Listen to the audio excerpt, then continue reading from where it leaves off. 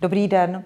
Začíná další z rozhovorů pro web Kapličáci. Dnes se podíváme na komunální politiku pohledem opozice, ale také tím, co souvisí jednoznačně nejen s rozvojem obce, ale také celého regionu.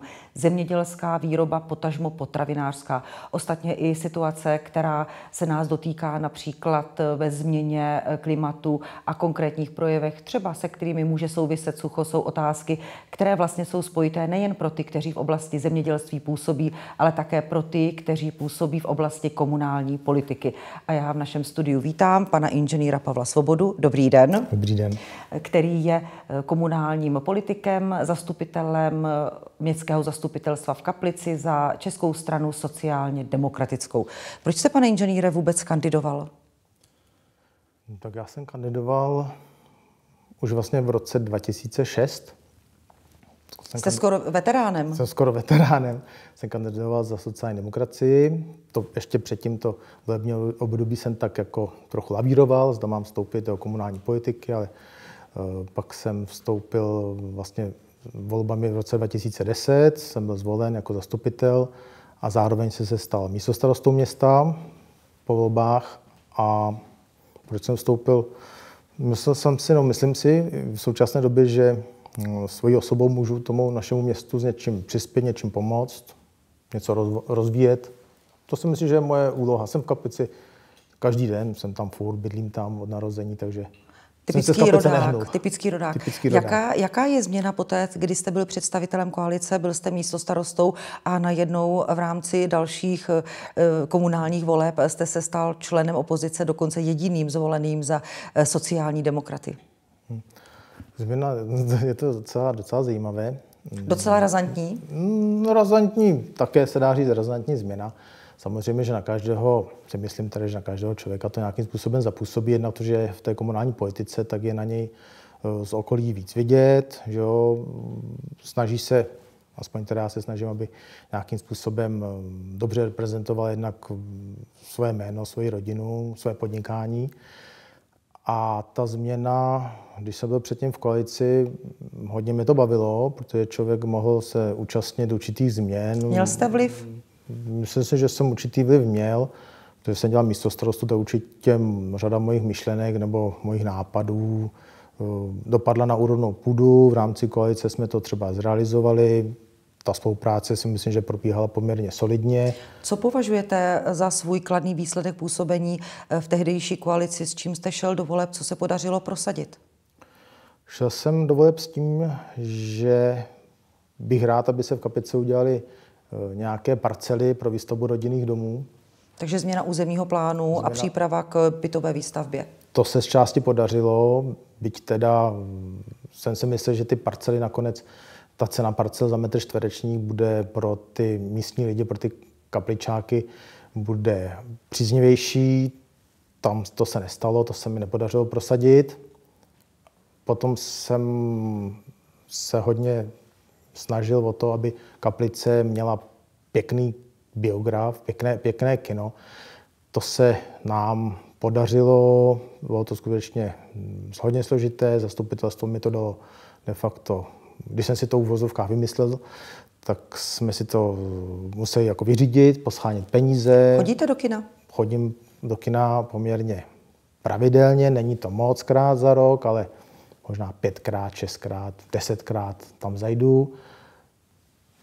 Na pěkný filmy. V Kapici máme krásný kino. A v čem se změnila rád. ta pozice, když jste teď uh, opozičním zastupitelem? Bylo to pro vás zklamání, poněvadž uh, vlastně kaplická koalice je složena z několika subjektů, jsou tam i zástupci nezávislých kandidátek. Bylo to, bylo to pro vás zklamání? No tak určitě to bylo pro mě zklamání. Lhal bych, kdybych řekl, že to pro mě zklamání nebylo.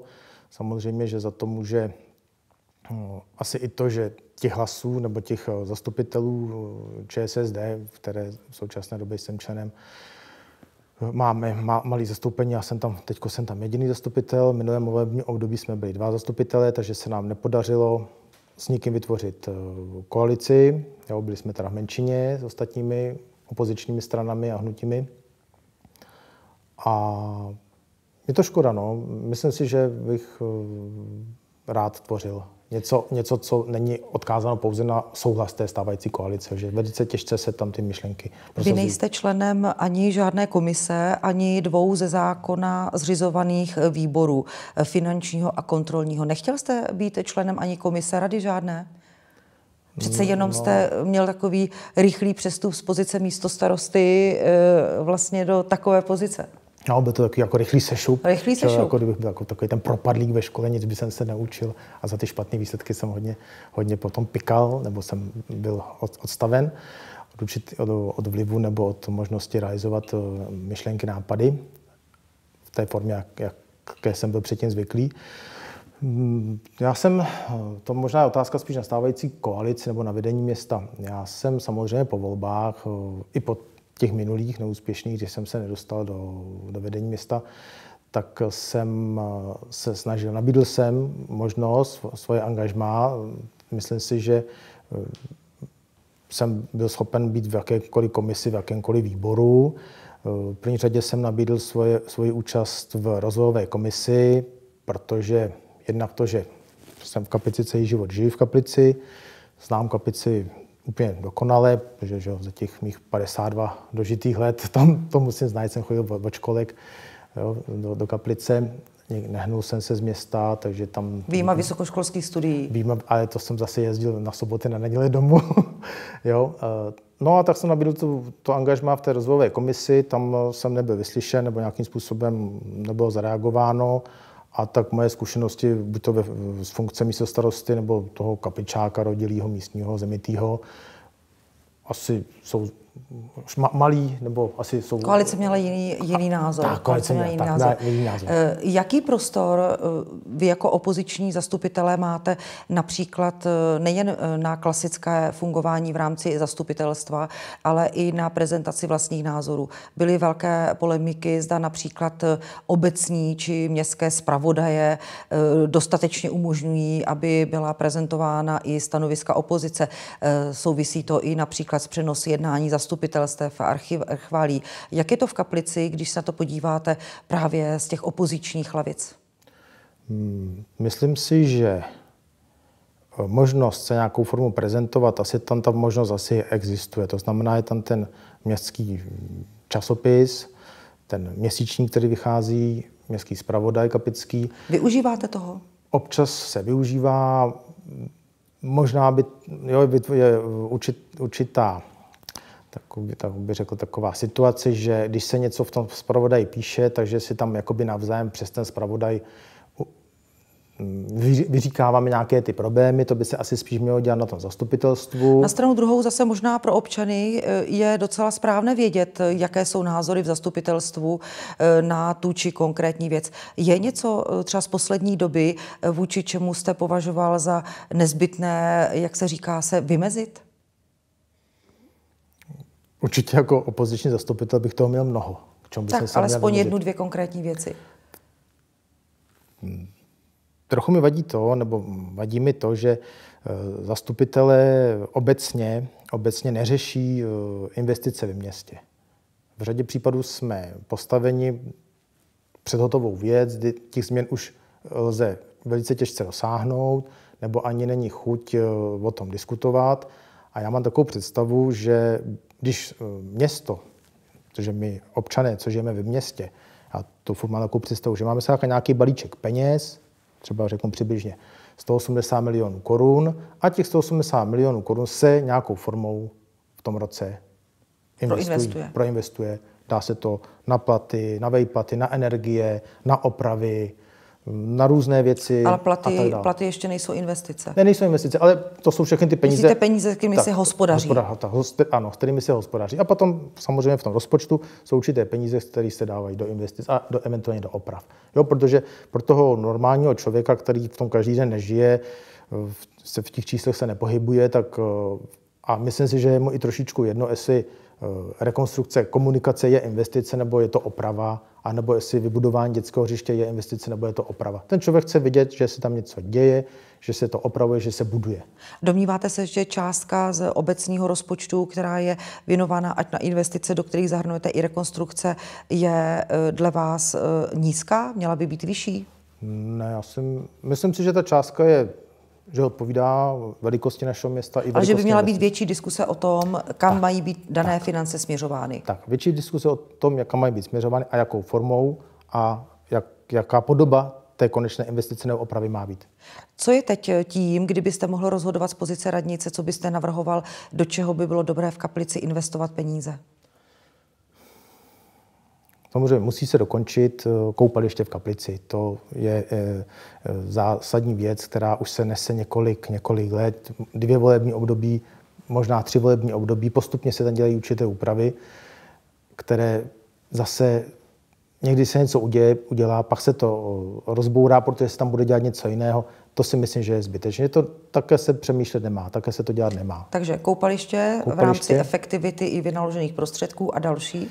A potom mi v Kapici chybí, opět mi tam chybí ta infrastruktura, to znamená, zase bych se snažil zajistit parcely, aby ty lidi... Pro rozvoj obce. Pro rozvoj obce, aby ty lidi, ty mladí lidi, hlavně ty mladí lidi, protože eh, že já mám dvě, dvě děti, dva syny, jsou to velký, velký kluci, velký chlapy, aby takovýhle lidi, když tam v Kapici se chcou usadit a chcou založit rodinu a asi si myslím, přáním většině rodičů je to, aby to jeho dítě mělo ten dobrý start do života. Já když to vezmu já na sebe, tak jsem v kapici, když mi bylo 23 let, no asi 23 let, tak jsem začal stavět dům, dostal jsem samozřejmě od státu půjčku a tak dále, a tak dále.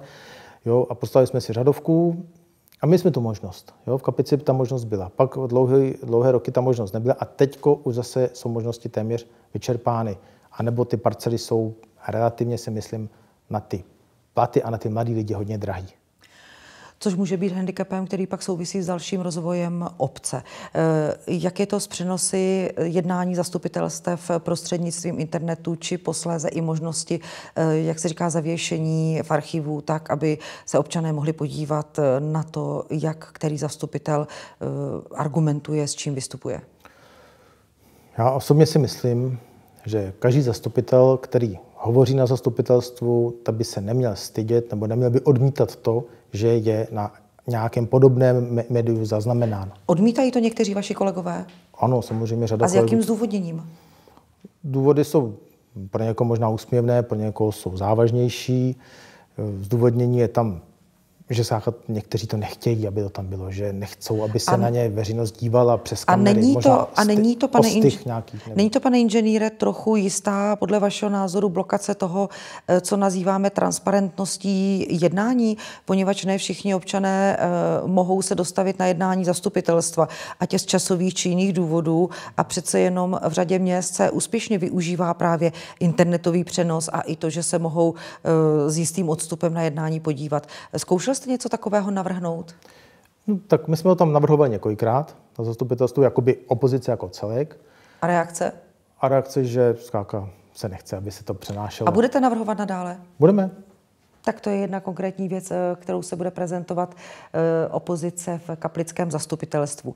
Vy eh, takřka tři dekády působíte v oblasti soukromého zemědělství, jste zemědělským inženýrem a vaše společnost Agrosvoboda, byť sídlí v nedaleké obci Dolní dvořiště, spravuje rozsáhlé množství pozemků, máte přes 600 kusů hovězího dobytka, zaměstnáváte samozřejmě Eh, eh, místní občany.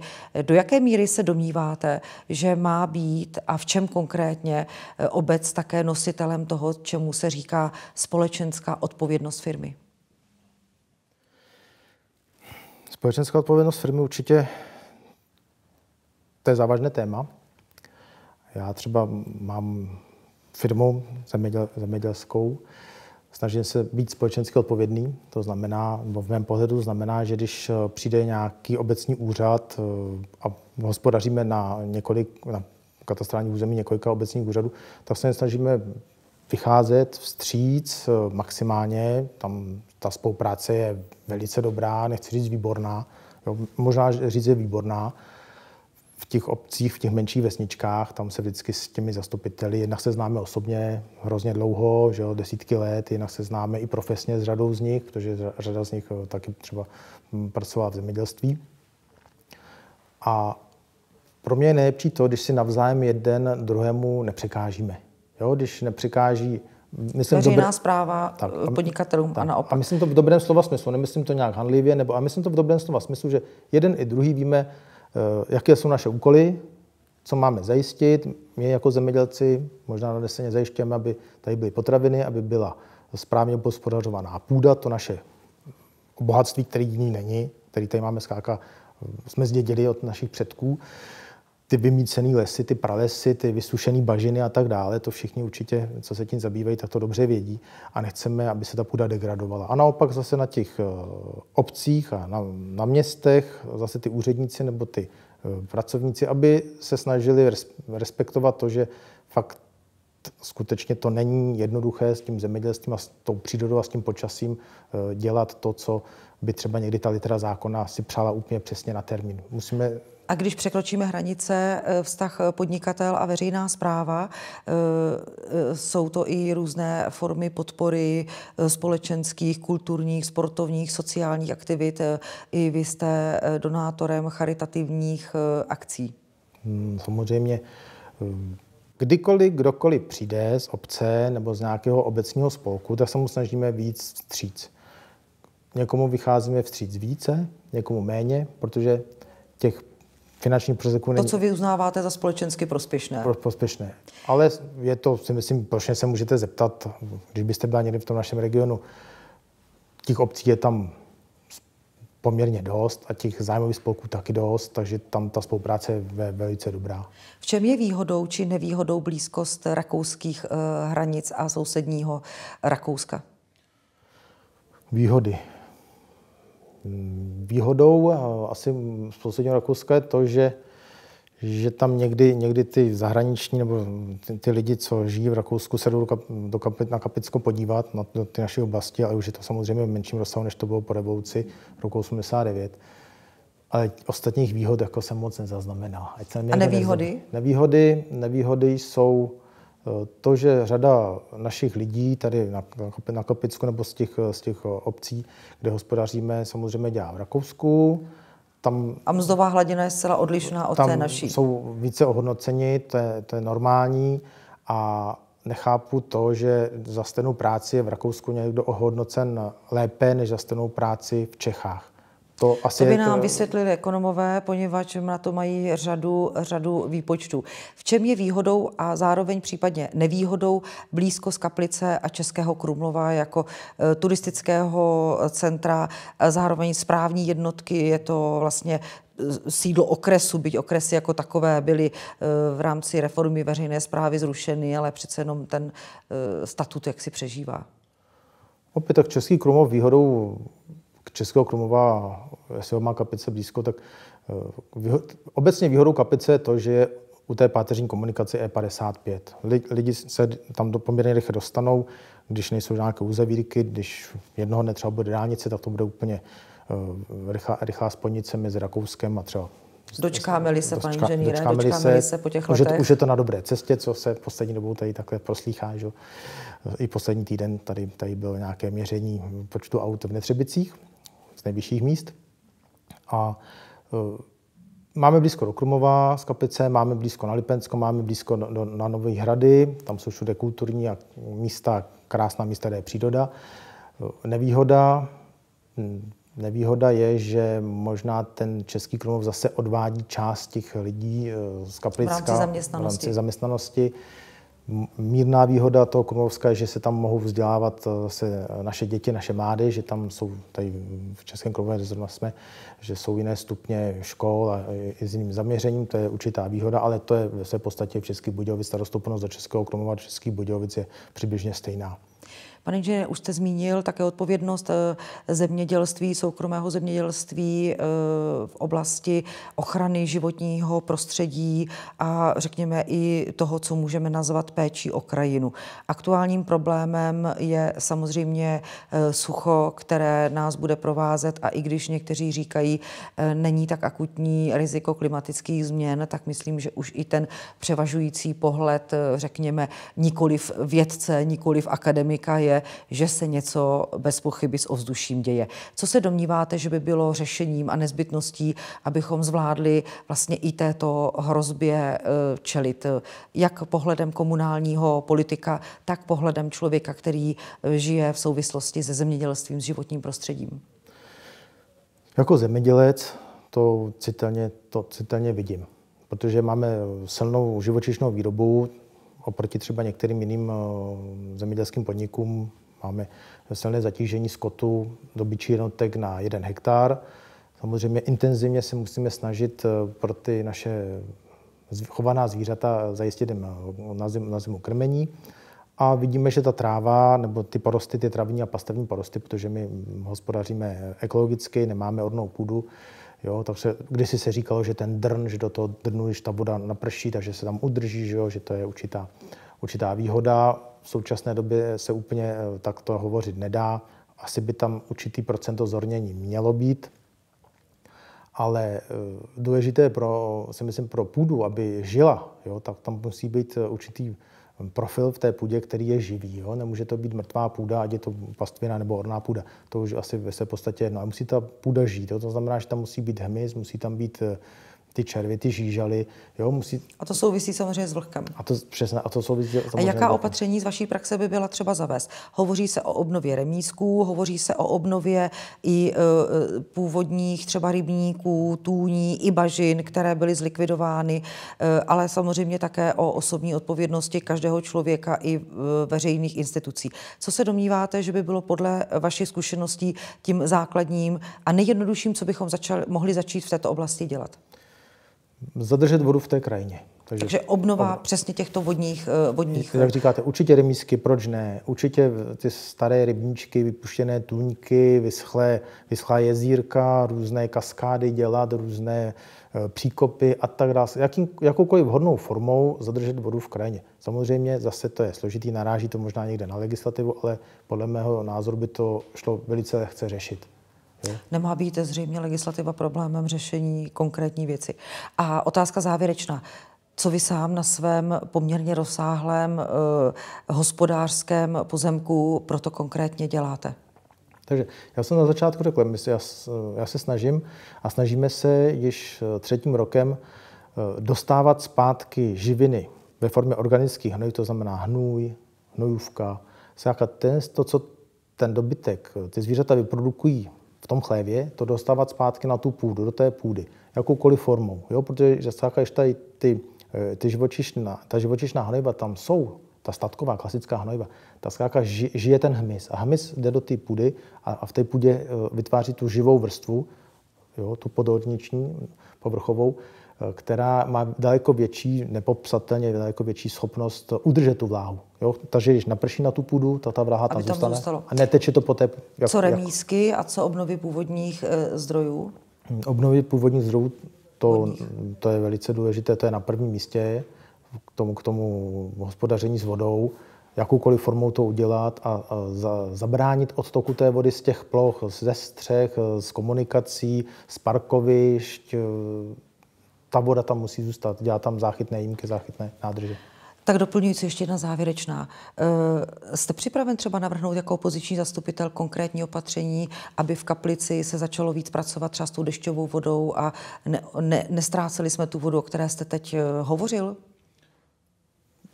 Zamyslím se nad tím, určitě to je výborná, výborná myšlenka a navrhnu něco podobného. Promyslím si to, přijdu s konkrétním návrhem. A já doufám, že se nám podaří se setkat ve studiu, abychom věděli, jak to v kaplici i e, s takovými návrhy dopadlo. Já vám děkuji za to, že jste přišel do našeho studia pro e, web Kapličáci a přeji hodně staru a s vámi se těším opět na viděnou. Také děkuji, přišel jsem rád.